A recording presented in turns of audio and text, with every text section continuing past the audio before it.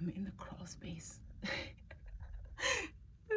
I'm crawling, but I feel like how do people go here and don't feel like the whole house gonna fall on top of them? I don't think I was built for this.